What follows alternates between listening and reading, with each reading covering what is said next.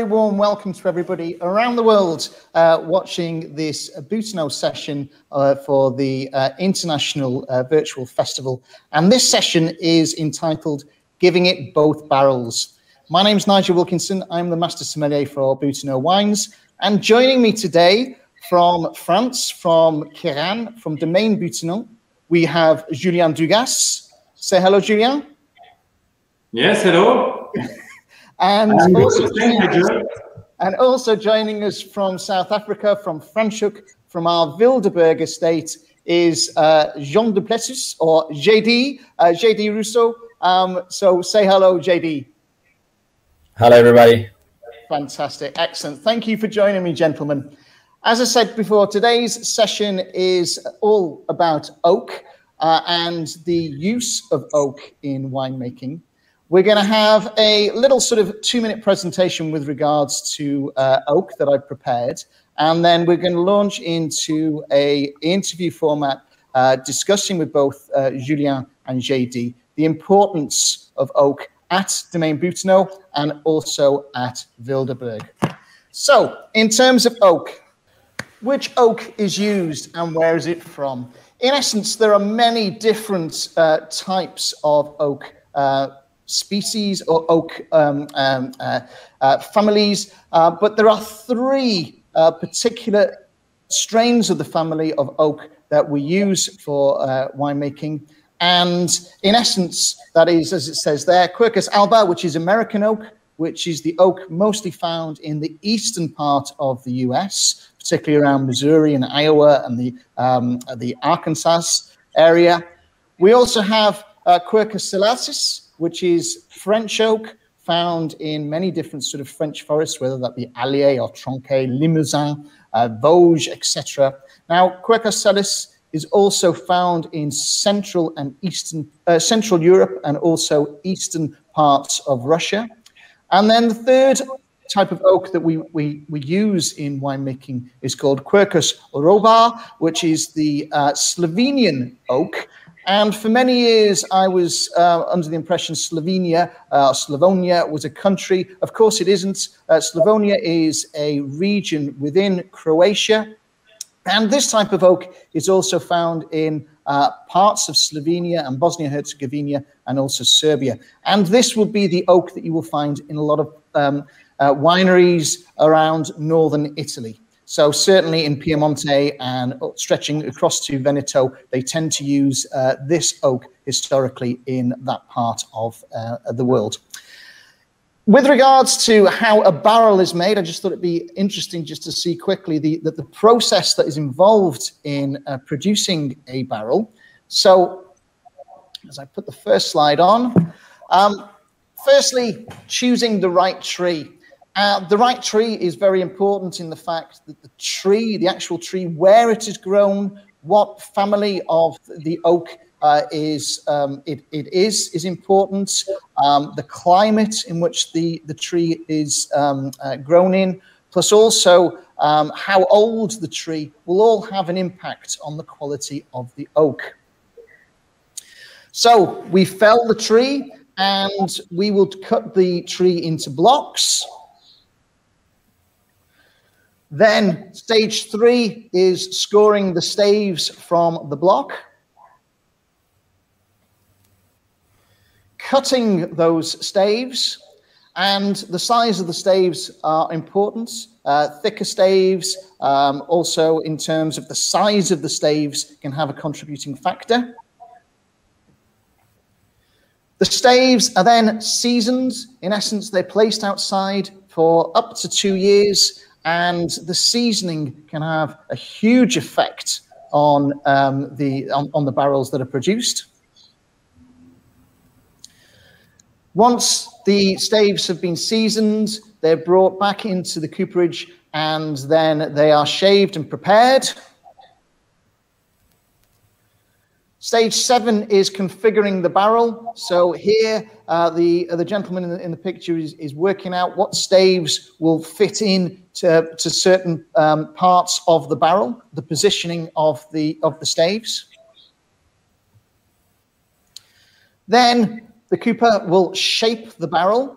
So as you can see there, he's, it, this is a very sort of uh, labor-intensive, highly skilled job. Uh, and the Cooper there is making sure that, that everything is fitting neatly and everything is in the right place. Then in order to um, work those staves, uh, the staves are heated. Now, traditionally, it was done over a flame. Uh, you can also do this process under steam. And whether you've done it under flame or whether you've done it under steam, again, will have an impact on the uh, final barrel. We then do a process called toasting. So within the barrel, uh, a flame is um, lit uh, and the inside of the barrel is charred. And winemakers will decide on the level of toasting that they want from their barrel. So they can go from a light, light toast all the way to a heavy toast. The side panels, of course, have to be fixed. And then the holes are inserted into the barrels so that we can get the liquid into the barrels. And that's the finished barrel. That's at uh, our winery in Cairanne. So yeah, nice. a little video now for you to, to um, uh, watch, uh, which only takes about 30 seconds. And maybe, Julien, could you just describe to us what's happening in the video, please?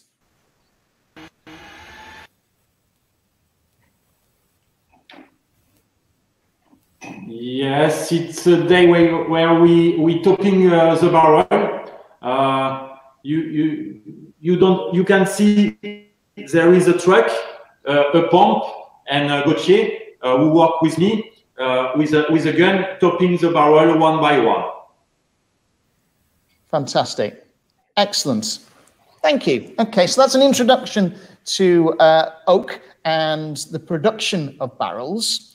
Um, JD, please can you tell us a little bit about your oak philosophy at Wildeberg, please?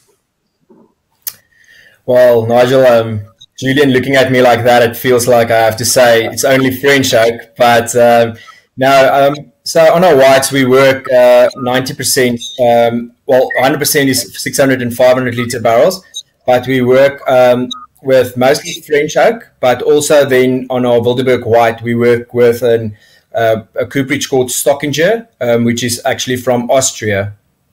And also, when it comes to toasting, we, we prefer more a blonde toast, so a lighter toast um, to a more heavy toast. So we like the freshness in the wine rather than the charriness or the bacon keeps or that that type of flavors um, in the wine.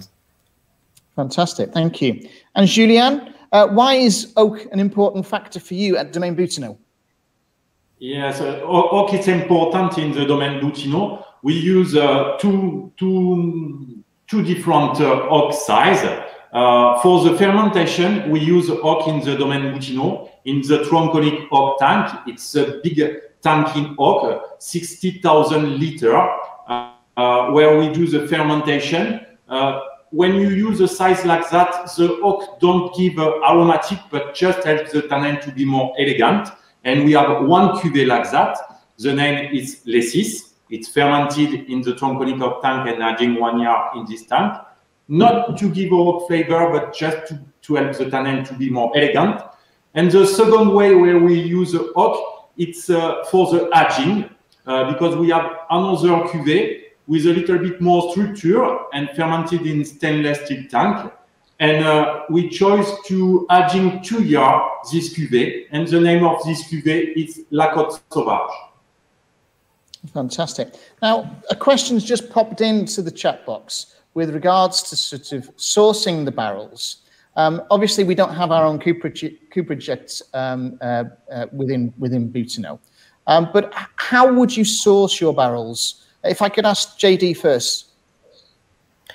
Well, um, it's actually for for me, it's a trial and error. So you have to work with so many cooperages in the beginning, and then you narrow it down, and you know what works. And sometimes on paper, it's not just uh, this barrel works for say for Julien in France because the grapes I work, even if it's Grenache or Syrah, it's not going to work in the same barrel. We don't have the same. Um, so what we do is well experience, um, um, own experience, but also in the wine greater winemaking team, we we um, yeah, we, we help each other. Um, so, like I said, I think I work with four French cooperages and then the one Austrian cooperage. Okay. And Julien, how, how many cooper, coopers would you work with? Uh, I, I, use uh, uh, only French oak uh, in Cairanne because uh, we make a French wine. And uh, also because I think the, the weeding with a, a French oak, it's, it's good with the wine in Cairanne and it's that I'm looking for uh, to to the final result in my wine. A French oak uh, for me it's more elegant, give less aromatic, and, and uh, help more the wine to get the tannin more soft and uh, increase the finesse inside the, the wine. Okay, so just to go back to that, Julien, would you, would you ever consider using American oak? Uh, for for me, American oak it's a little bit too much, if I can say that, uh, because the, the, the, aromatic in, in oak is high, uh, because the, the, the, oak tree come from different uh, country. And for me, it's I saw a lot of uh, the, the, the fruit part and the, the finesse to the wine. Uh, maybe in another country with a, a, different variety than the French uh, south of France variety, it's good but uh, for me, I judge is, is not a, a, a good result uh, in our wine. Okay. And JD, you mentioned there about the use of Austrian Austrian Stockinger um, or Stockinger um, oak. Um, why? Um, Nigel, so in 2017, I was privileged to tour France and all the wine regions, and we did a lot of tastings in the winery um, in the wineries with winemakers. And in Sancerre, we there was one producer um, that we went into the winery and we tasted a lot of the barrels, and it was uh, always this one barrel that just popped out, and it was like, wow, this is actually amazing. We like the minerality, we like the freshness in this wine. Came back to South Africa and we, we sat around a table and we decided this is actually a barrel that can work very well with our uh, Semillon, um, our old vine Semillon in Franschhoek. And yeah, we started importing it, and yeah, ever since we we've been using Stockinger on on on the Wildeberg White. So is it only on Semillon currently that you use this this this this oak for? Yes, and so yeah, so we're playing around with Chenin as well this year um, to see what that brings to it. But um, so currently it's just just on the Semillon, yes. Okay, so um, I was going to ask um, um, Julien. Um, are there any particular sort of great varieties that are particularly suited uh, within Cairanne for, for, for the oak that you use? Uh, you have some variety accept more the aging than another one. But I, I think the, the, the, principal thing to, to, to remember, it's when you put a wine in barrel without a perfect balance, you will have not a perfect result.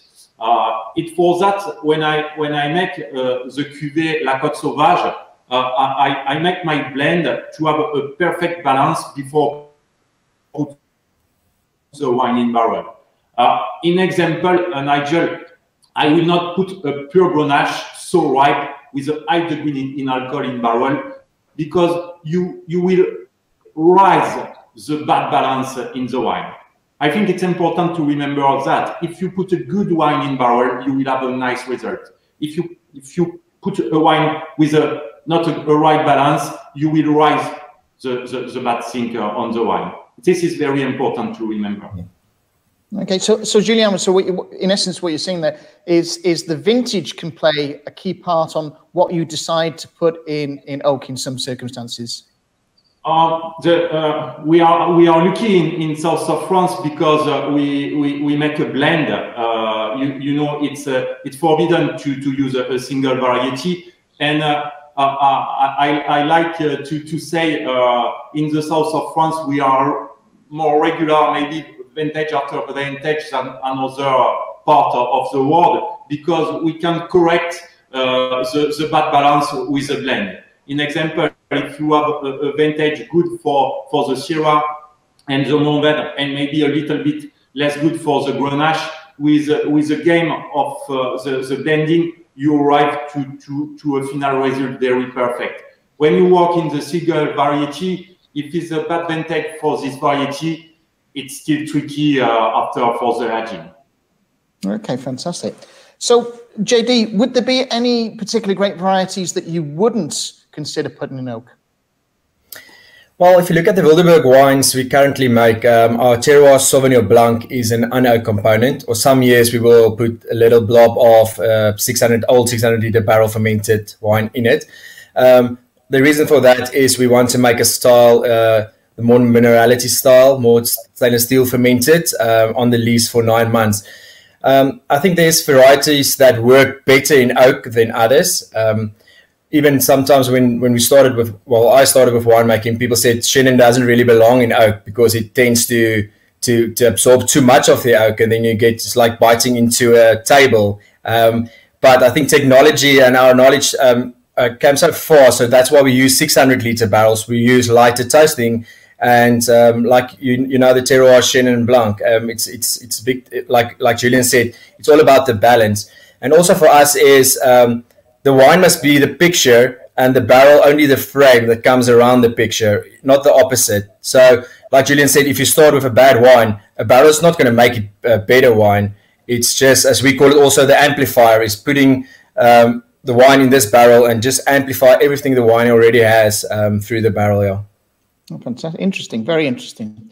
So, Julien, does the size of the barrel actually make much difference to the finished wine? It's a little bit a, a secret recipe, but uh, uh, I, I, can tell you, uh, I use two sizes of, of, uh, of barrel uh, in, in Cairanne. Uh, one, it's a demi 600 liter, and, and the normal barrel, 228 liter. Why? because the the the, the, the feeling of the of the ox, the result, the final result is different because the size uh, involve a lot of, of the aging. Uh, I think the demi work in the middle and the end of the of the mouth, and the barrel work more in the beginning of the mouth. It for that I blend both, and uh, we have a final result with a perfect aromatic oak integration during all the testing. Okay. And JD, I'd, I'd like to ask, why would the toasting have an effect on the finished wine? Sure. I think the toasting is, well, it's obviously the cooperage and they've got their house toast. And I think it's quite a, a, a, big part of this whole barrel and the winemaking procedure. So, like I said earlier, I remember when I started off in the winery industry, I made a 100% new oak Shiraz in uh, in 100% American oak, and it was just a vanilla bomb. It was like going to the movies with candy floss and just sitting there with your popcorn. But it, it was at the time that's what uh, everybody made. Um, I think now the tastingness, people are moving away from chariness. People are moving away from too high toasting um, to more towards the more, like I said, a high. We call it a hydro or a very blonde light toasting. Um, to, to respect the wine that you put in the barrel and not to trying to over do the wine with with the toastiness of the of the of the barrel. Yeah. So JD, when when you buy a barrel, you you specify the size, the the yeah. toasting level, um, any other sort of um, uh, factors to consider. Yeah, so if you if you if you like a, a, a cooperage or this the what works for you, you you can decide. So some of them make six well bigger as well in different sizes. But like I said, we only use 600 and 500 liter barrels, which is a big difference. There's a big difference, not only 100 liters, it's the thickness of the staves as well. So for me, a 600 liter is a is a, almost like a tank. It's it will keep you for so longer because the staves are quite thick. So it's a very slow maturation process. Where a 500 liter is a barrel for me, it's almost like a 300 liter. It's not only the size that with the with the thinnest staves. Um, so yes, you, you, can choose first of all size. Then um, some of the cooperages, um, the French cooperages, got different uh, forests where where the, the, the, the wood is from, and then after that you can do toasting levels, um, high toasting, medium toasting, etc. And now that these days they've got the seasoning. It's 20 month seasonings. It's 30. So it gets quite uh, technical and quite complex. But like I said earlier the best way is to use a vineyard in that barrel, taste it afterwards, and to see does this work um, or not. So yeah. sure, sure. There's a question actually coming from Norway, um, which, which which I was also going to touch on, um, and it's a question to you both really. Uh, would you ever consider using oak, oak chips in your wine? So maybe if I can ask JD first. Um, chips and staves. Okay, so with Wildeberg, definitely, I think um, not. Um, it's a it's a wine. It's a wine style that um, needs longevity. It's a it's a more premium style. But you did you do get wines that like we are in harvest now. Um, say a Shiraz that needs to be on the market in the next six months, and starting from staves going upward to uh, starting from chips going upward to staves. So chips you extract quite a lot and quite quickly out of the wine. So I'm talking now a month, four, uh, three weeks. You're done. You take it out. It's like almost like a tea bag you put in with um, with chips in it, and then you get staves um, that you can. Um, and and I must say, these days the staves, the technology around staves is almost like they use the same wood, the same seasoning like a barrel, but it's just a stave because um, life, like in everything, becomes so fast paced. So that will give you six months on the staves if you ferment or just matured, and you take it off the staves. Um, but it's a different style of wine. I think it's a it's a wine with high drinkability. It needs to be drunk in the uh, first year that you make it. Um, where barrels is more your premium, more your more your, your longevity wine you can put away for for longer. And just to explain that um, to, the, to, the, viewers, um, you, are literally meaning with, with, regards to staves is adding big planks of wood into stainless steel tanks. Is that correct? That's correct, yeah. Excellent. And then for the tea bags, uh, you said those tea bags are full of uh, oak chips. So yeah, that's full of oak chips, and you can actually make your own blend now. You can uh, there's Hungarian oak, French oak, American oak, a blend of that, and you can you can put it in a tank and ferment, or well, you can ferment with it, or you can add it afterwards um, to do mellow or maturation on it. Yeah. Okay. And Julien, what would be your view on oak chips? Uh, in first, in, in Cairanne, it's forbidden uh, because it's a cru. All the cru in Rhone Valley, it's forbidden. After the, the chips, for me, uh, it, it's you can play with that uh, for a very uh, enter-level wine just to give the aromatic, but uh, you forget the aging. Uh, you, you give the aromatic only. Uh, maybe you can add a, a, little bit of complexity in the sample wine, easy drinking wine, but no more. And in the time, uh, you cannot compare with the barrel because the, the, the chips aromatic, like uh, JD say, it's during maximum six months. Uh, after it's uh, the, the wine uh, come come back in, in the beginning. It's a volatile aromatic, to be honest with you, in, in, the wine, and you don't have the oxidation and the and the tannin given by the barrel. You cannot compare. A, question again that sort of uh, many people are alluding to on the chat box is um, obviously sort of barrels can be very expensive how many vintages would you get from one barrel, Julien?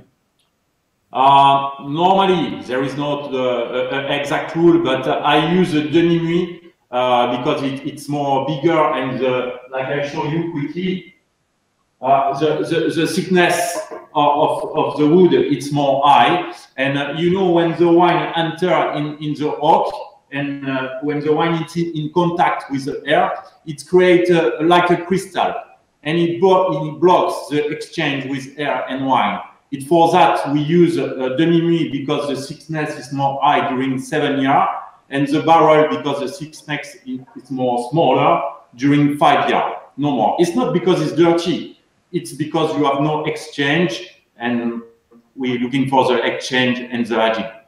Okay, and those crystals that you mentioned there, they are they are the tartaric acid crystals. Yes, exactly. Sorry. Yeah. Yeah. And th th so what you're, you're saying there, they form almost like a barrier uh, against the oaks. So they, they, uh, they, they're, they're working against the, the idea of, of using oak when you've got too much tartaric acid crystals. Yeah, but it's a normal evaporation of, of the wine. It's not because you have a, a high level of acid in your wine. It's, no. You have an, an influence, but uh, it, it, it's just the, the natural process uh, of the of the aging. Okay. So, JD, is there much of a difference to the final wine if a wine has been aged in new or older oak barrels? Yes, a lot. I think, um, but stylistically, you need to um, decide what style do you want. Do you want a Chardonnay, which is a buttery Chardonnay with a lot of new oak, or would you like a more limey Chardonnay? Um, but luckily these days, I think, like you said, barrels are so expensive. Um, I know sometimes people buy barrels and they they call it they break it in, so they will put a they've got one label or one wine that's quite oaky, and they will put that first year the new barrel they will put the wine in there, so that's a quite an oaky wine that they get out of that, and then the second vintage, which you call second fill barrel, will go to the to a certain um, wine, and as you go so we like like Julien as well has said. Um, I think we use our um, demi our 600 liters up to 10 years, um, but we've got a like a very light Cinsault and Grenache that goes with it. We literally just want the slight micro oxygenation. We don't want any um, oaky flavors in the wine, and that that's why we just put it in very old um, demi um, okay. Yeah. So, in, in, again, sort of uh, to sort of put you on the spot a little bit, um, Julien. Um, in terms of new oak, how how many oak barrels would you buy in a year on average? Uh, I can't say how many, but uh, uh, in, in my in my barrel cellar, I try to have uh, 20 or 25 percent of new oak uh, in in all the all the cuvée. Uh, it's just like I explained you, it, it's better to have a, a, a new oak. It, it's more safe also uh, a, thing that uh, you, you, need to know inside the oak barrel you can have the yeast and uh, plenty of bacteria and more you you have a, a young barrel in, in the in the barrel cellar better is it for the winemaker and more safe is it for for the wine hmm. Uh, JD, Julien touched there on sort of, you know, you, you can get bacteria, etc., in, in, into some of these barrels. How, how, do you treat that? How do you look after the barrel? Well, that's I think crucial, and I think somewhere there was a question on the on the on on um, in there also. Do you how do you store the barrels um, when it's emptied? I think that's big. So for me, uh, the best way to store a barrel is with wine in it, um, just prior to bottling um, or blending. Um, as soon as you start washing a barrel and it's empty, it can dry out, and that's where your bacteria can creep uh, creep in. But there's different um, ways of, of washing a barrel and keeping the barrel. It's obviously um, higher humidity. So we keep our empty barrels with the full barrels inside of the barrel um, cellar, which is about, say, 80% uh, humidity. And then we've got like a high pressure washer um, that, that goes up to 80 degrees Celsius that will kill most of the, um, well, the bacteria in a barrel. And then you get a little sulfur strip. You can also uh, like or sulfur candle you can burn in a in a barrel if you want to keep it for for say a few months um, prior to, to to using it. Yeah. Okay, interesting, interesting. Um, if I could ask you both, if you were to name just one wine from whether it be from Domaine Boutinot or whether it be from Wildeberg that you personally would say represents the perfect partnership between terroir and oak, what would you say? If I can ask maybe Julien first. Oh, difficult to share with uh, uh, Les Six and, uh, and La Côte Sauvage. Uh, if you prefer the oak aromatic, maybe La Côte Sauvage, it, it's better. If you prefer the, the finesse and the elegance of the tannin helping by the oak, maybe Les Six it's the best. Difficult to share, uh, Nigel, really. Both, I say. Sorry. okay. It's like having children, I suppose. you don't have a favorite child. Uh, the next one. and and JD. No, I would definitely say um, our Wildeberg White, um, the, the the ancient Bushvine Semillon with the Austrian um, Stockinger barrel. I think it's a match made in heaven. You know, just works. Okay, so there's a couple of questions that we'll just uh, quickly touch on. Um, the first question, just reading backwards, uh, is a question from Malta. Um, when choosing oak barrels, do you consider oxygen transfer rates? So if I could ask JD first. Okay, so um, when you, that's the one thing we didn't touch on. When you uh, choose your oak, you get the grain in the oak. So you get extra fine grain, you get, and down you get to medium grain. So in theory, if you have a barrel which is a medium grain, the maturation will go quicker.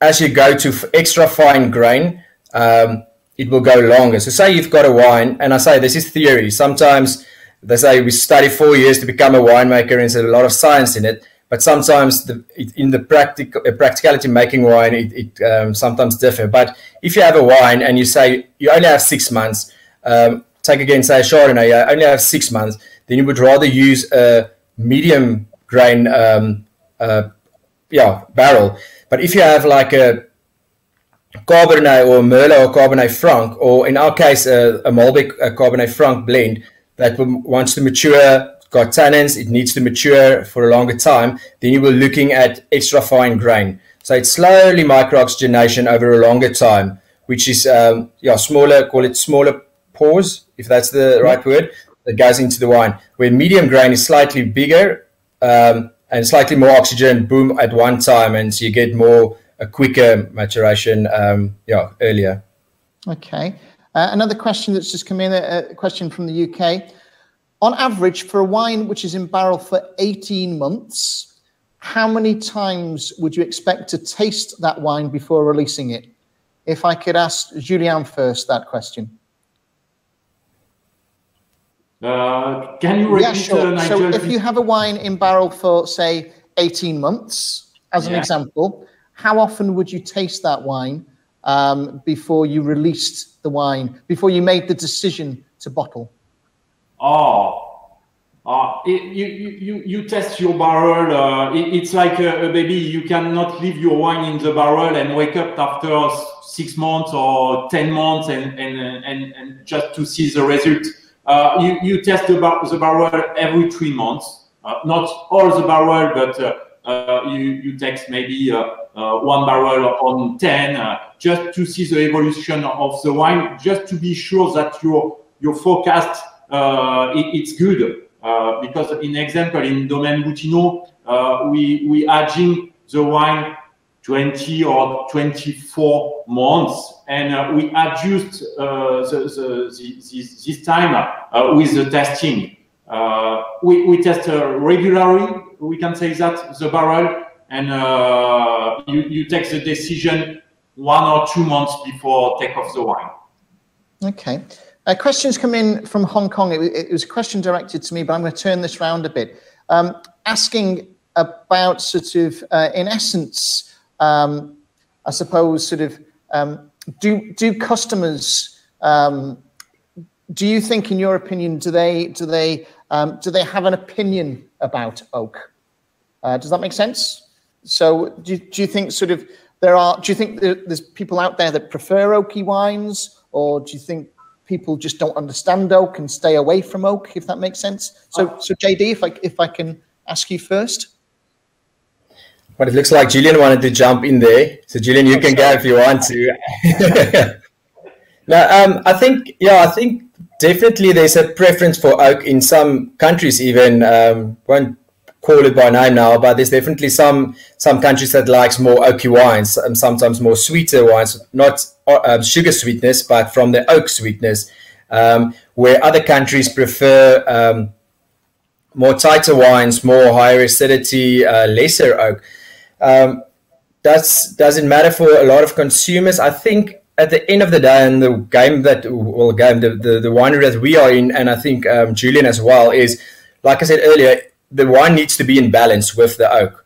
So if you pick a wine or taste the wine, and I, and I can talk for us, it, and it's overly oaked, the wine is definitely not ready um, to be drunk. Um, it must be a harmony between the oak and the and the wine.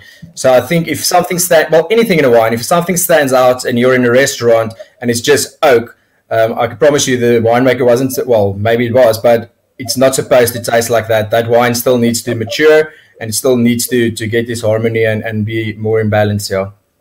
Would you agree with that? Would you uh, agree with that? Uh, is also if you have a perfect integration of oak, sometimes you can forget the oak in the first testing. And when you have that, uh, you realize the perfect balance in the wine. Because for me, there is oak and oak. When it's bad integrate, when you smell the oak directly and it's too much, you, you think uh, you, you, you eat a, a, a part of wood, you, you lose uh, for the wine. Uh, but when it's perfectly integrated, when you ask, there is a rock in this wine or not? Yes, for me, it's a, it's a perfect result, uh, and, and, it's that we're looking for uh, in our job. Excellent. This uh, a final question from Ireland. Um, have either of you ever experimented with other types of wood, whether that be cherry wood or acacia wood, or would you even consider um, uh, experimenting? Julian? Yeah, yeah. Um, acacia wood, uh, it's uh, often using for the, the white wine in, in France. But uh, to, to be honest, uh, difficult uh, in, in Rhone Valley when you have uh, the, the, the, main variety in Rhone Valley it's the Grenache, and it's a very sensitive variety. And the Grenache don't accept so a lot of another aromatic than the fruit aromatic. Acacia oak it's a oak with a lot of aromatic, a little bit like uh, like the American oak in, in, if you compare in the in the red wine. And sometimes it can be good in some different variety. Maybe if you make an 100% Roussanne with a lot of structure and uh, you want to change a little bit the aromatic and, and, and rise the complexity, why not? But uh, you, I saw the, the food part for me uh, with a different oak like that. And for you, JD, would you would you ever experiment with other types of oak? Um, I don't know if I would. I haven't. I haven't yes, I've tasted a lot of, them, but like exactly like Julien said, um, it's really it's overpowering. Some of uh, we've got like red bush um, oak that they sometimes use in a Syrah, but it's just it's one dimensional. You just get the oak, um, so you, you, lose the fruit and you lose the grape. So I think um, for us, we will. I won't say never. Never is a long time, but at least not in the next ten years. We'll not use um, other types of oak. So yeah, or other types of wood. Yeah, fantastic, excellent, yeah. good, good, good. Uh, Julien, JD. Um, thank you very much. Uh, unfortunately, we've, we've gone sort of uh, slightly over time on, on this uh, uh session, uh, but sincerely, thank you both for sharing your passion. And um, this is a very interesting and very fascinating subject, which I'm sure uh, the two of you could talk for hours on. Um, but um, both, sincerely, many thanks for your time. And I hope to catch up with you both soon. Take care. Thank you. Thanks, Nigel. Thanks, Everybody. Bye. Bye.